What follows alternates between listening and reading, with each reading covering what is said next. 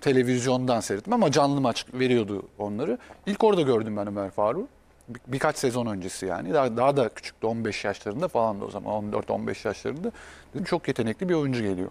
Yani dikine topla dripling, mesafe kat ediyor, iki tarafa çalım atabiliyor. Ama o kendi seviyesinde.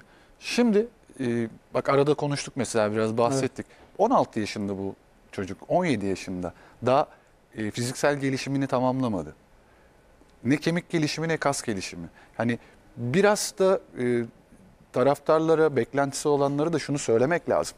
Çok genç, çok yetenekli ama bu kadar e, beklenti içine de sokmamak lazım oyuncuyu da. E, bu bu kadar çok beklentiyi yüklersek üzerine kaybedebiliriz de. Hani Türk futbolu olarak kaybedebiliriz. Sadece Tabii, Fenerbahçe sadece değil. Fenerbahçe değil. Doğru gelişimini yapması lazım. Evet zaman zaman oyuna atacaksınız. Mesela atıyorum Gençler Birliği maçında 5-1'den önce ben olsam oyuna atabilirdim. Ya 72'de 5-1 olmuş. Ya benim 73'te düşüncem- mesela oyuna girebilirdi diyorsunuz. Yani daha, yani daha erken bir 15 dakika, bir 20 dakika çünkü müsaitti. Evet. Yani o oynayabilecek bir oynayabileceği bir ortam vardı. Ama işte dedim ya o şeyi ona çok yüklememek lazım. Eğer gelişimini hem fiziksel hem mental gelişimini e, kulüp içerisinde yetkililer, teknik heyet işte onunla kim ilgileniyorsa çünkü farklı bir antrenman yapması lazım. Şu an profesyonel idman yapabilecek fiziksel e, şeye sahip değil Ömer Faruk. Yeterli. Ha, a- bunun örnekleri var mı yurt dışında Avrupa'da ya onların çok başka fiziksel yapıları Ya, var. biraz evvel Yetişme bahsettiğimiz tarzı. konu belki de Ceyhun abi. Yani Merih Demiral pandemi döneminde sakat fakat sürekli tesiste çalıştı. Bütün imkanları sağladı Juventus kulübü. Konuştuğumda çünkü gelecek misin Türkiye'ye? Bur- bu- kesinlikle burada kalacağım abi dedi. Burada çünkü hem tedavi oluyorum hem de çalış ya çalış çalışıyor bir yani sakat. Evet çaprazları kopuyor ama çalışmaya da devam ettiriyorlar. Yani fizik olarak hani e, kendisini bırakmaması için Evet. Orada sürekli olarak antrenman yaptırıyorlar. Aynen söylemeye çalıştım o işte. Yani özellikle o yaş grubu genç oyunculara, beklentimizin olduğu oyunculara Türkiye futbolu açısından e, doğru gelişimi, e, doğru fiziksel eğitimi, doğru mental eğitim vermemiz lazım. E, Çok yüklenmememiz lazım. Hemen bir şey olacak diye onu böyle alelacele olayın içine, o etmemek kargaşanın içine atmamak lazım. Kayıp da edebiliriz. Çok özel bir oyuncu bana sorarsanız. Çok özel bir oyuncu ve inşallah daha da iyi İnşallah, seviyede olacak. İnşallah tabii ki. Ama işte o doğru gelişimli. E çok yakın örnek denilebilir. Mustafa Kapı'nın 14 yaşında A takıma çıkartılıp Rikenik tarafından sahaya sürülmesi. Tamamen bir Maalesef. şov. Oyuncuyu çok zirveye çıkartmak, beklenti arttırmak e, ve oyuncunun da zihinsel anlamda yıpranmasını sağlamak. Sonrasında oyuncu da e, 18'ine daha basmadan e, 17'sinde size e, nasıl tabir edeyim bir şekilde e, kapıyı vurup gidebiliyor. Beni o zaman A takıma almıyorsanız ben gidiyorum. Bana zam yapmıyorsanız ben gidiyorum. Maaşımda güncelleme yapmıyorsanız gidiyorum deyip çekip gidebiliyor. Mustafa Kapı'nın süreci tamamen bir hayal kırıklığıdır. Rikenik orada bir şov yaptı ve o şovda da oyuncuyu kurban etti. Maalesef. Şu anda da Ömer Faruk konusunda Fenerbahçe iyi bir süreç geçirdi.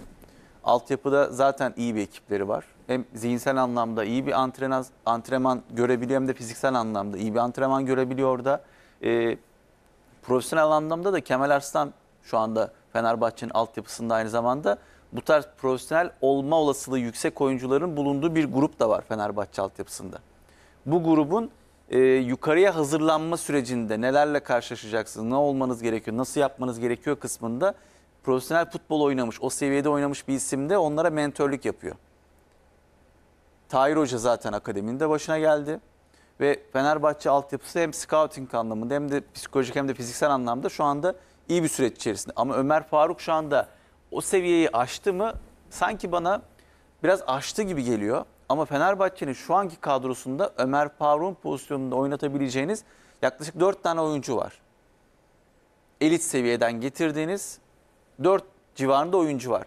Sanki Ömer'in bu sezonun başında Hollanda gibi, Belçika gibi liglere oynayabileceği bir lige e, oynama anlaşmasıyla %30, %40 gibi bir anlaşmayla kiralanması oyuncu adına da daha hayırlı olabilirdi. Bu nedir? Mesela Hollanda'da yaş ortalaması nedir ligin? Birçok takımda 22'ler, 22,5, 23. Evet. Öyle bir takıma. Bu sayede oynama alışkanlığı ile birlikte kendisini bir sene sonra, iki sene sonra getirdiğinizde ya da Sosa emekli olduğunda getirdiğiniz zaman kadroya daha rahat bir şekilde adapte edebilirdiniz. Ama şu anda 5-1'de ancak oyuncuyu sahaya sürebiliyorsanız bu oyuncuyu da biraz demoralize edebilir. Oyuncu düşünsenize kulübedesiniz. 5-1 olunca ancak hocanın aklına geliyorsunuz. Ama neden? Kaygı Bak var. ne diyoruz işte e, sadece fiziksel eğitim değil mental eğitim de önemli. Onu ona hazırlayacaksınız. Yani Evet. Ömer Faruk şunu düşünmeyecek. Çünkü genç oyuncu. Evet çok istiyoruz her yerde bunu senelerdir söylüyoruz. Genç oyuncular çıksın mutlaka çıksın. Ama doğru Zamanla eğitim, doğru zaman, doğru yönlendirme, doğru biçimlendirmeyle. Öyle yapınca da işte çıkanları gördük. İşte e, eğer bunu doğru anlamda yaparsanız Ömer Faruk kulübede oturduğunda şunu düşünmeyecek. Bir kere onun gururunu yaşayacak. Ben 16-17 yaşındayım ve bu kulübedeyim. Ne olursa olsun oyuna girmeye namzet bir oyuncuyum. Evet. Bir, bunu düşünecek. Bunu düşünmesini sağlayacaksınız. İkincisi negatifi düşünmeyecek. Ha ben 5-1 iken oyuna giriyorsam ha olur mu böyle? Bunu düşündürmeyeceksiniz oyuncuyu. Bu da nasıl olur? Doğru diyalogla, doğru telkinlerle olur. Bunu doğru yaptığınız zaman oyuncuyu zaten psikolojik hazırladığınız zaman oyuncu bunu anlayacak. Önündeki oyuncuların farkına varacak. Yani onu düşünmeyecek. Düşünmemeli de bence. İnşallah Ömer Faruk gibi. Ben çok Rıdvan umutluyum gibi, şahsen. Şey, Bursa'da var Ali. Ali Akman. Ali Bugün Akman. yine penaltı yaptırdı. Ali- Muazzam futbolcu.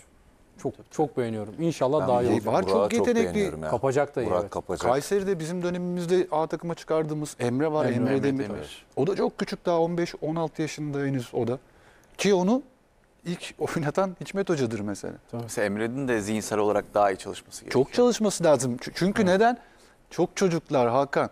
Yani bunu birebir yaşadım. Şimdi belki Emre dinliyorsa ya da bir yerden duyarsa kulağında küpe olsun. Yani çocuk da ergen bile değil. Buradan giriyor söylediğin buradan çıkıyor.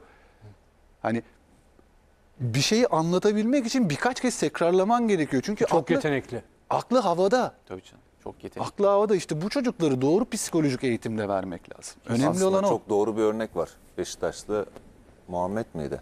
Muhammed, Muhammed Demir. Demir. Demirci. Batuhan.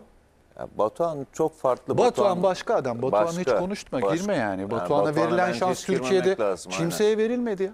Yani ben Nerede hani şimdi Batuhan? Muhammed'in gelişimiyle Hekimoğlu. ilgili Hekimoğlu. Seyit Ateş hastanelere, doktorlara gidip boyunun, fiziğinin gelişmesi için neler yaptığını ama Fenerbahçe'de hani Ömer Faruk ciddi avantajlara sahip.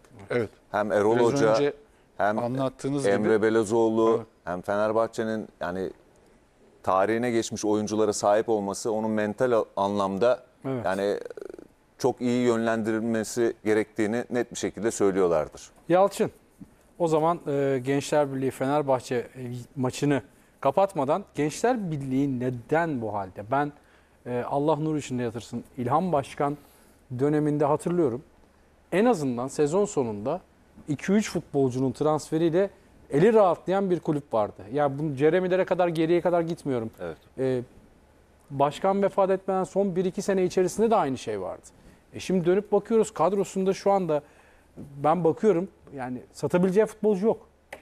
Genç futbolcu yok. Biz Gençler Birliği'ni hep altyapıdan çıkardığı genç futbolcularla bilirdik. Sadece kendi ürettiğimiz Türk oyuncularla alakalı Değil, değil. kesinlikle. Şu anda transfer etmiş olduğumuz yabancı oyuncuların hangi birini bugünkü performanslarına dayanarak kulüplerimize aday olarak gösterebiliriz transferle ilgili? Gösteremeyiz. Belki Stanku belki. Ama Stanko da ihtimal. zaten bizim ligimizin bildiği, Bildiği bir oyuncu. oyuncu. Yani o yüzden dedim zaten. Hani- belki o da performans olarak da şu an en göze batan performans En büyük onun. özelliği neydi Ceyhun abi? Hiç tanınmamış oyuncuyu ortaya çıkar. ortaya çıkartması. Hem genç Türk olarak hem de e, yabancı transferi olarak. Ama siz bu kadar transferi hani zaten sezona kötü başladılar. Nasıl başladılar? Ben şu sisteme karşıyım Ceyhun abi. Sen de hocalık portföyündesin. Çok özür diliyorum. Bunu çok rahat bir şekilde ifade ediyorum ama siz teknik direktör iken bir kulüpte, X bir kulüpte ben de teknik direktör hüviyetinde sportif direktör adı altında o kulüpte devam etmem size ne kadar doğru gelir? Düşünün bugün Fenerbahçe maçında mağlup oldunuz. Benimle istişare yapacaksınız. Bu ne kadar samimi Örnek duygular. şöyle verebilir miyiz? Christoph Daum döneminde Aykut Aykut. Hoca'ydı sportif direktör. Daum ayrılınca Aykut Hoca teknik direktör olmuş.